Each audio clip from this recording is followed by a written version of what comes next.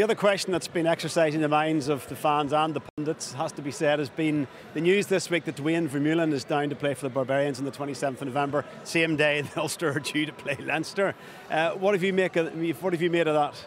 Yeah, like I can see it from the players' point of view. You know, playing for the Barbarians, I wish and Andrew and I actually chatted before we come on air. I would have loved to have played for the Barbarians and given an opportunity, I would have grabbed it with both hands. So you can see totally from Duane Vermeulen, but from an Ulster Rugby point of view, a fan's point of view, we want to see him here playing in the big games, playing against Leinster.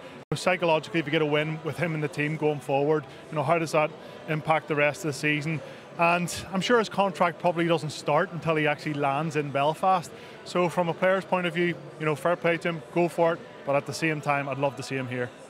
Could they not have got the contract to start a wee bit earlier, Andrew? Yeah, it's, it's hard to know. We're, we're totally speculating. No one really knows what the arrangement is, exactly what's going on, and what was and what way that negotiation happened.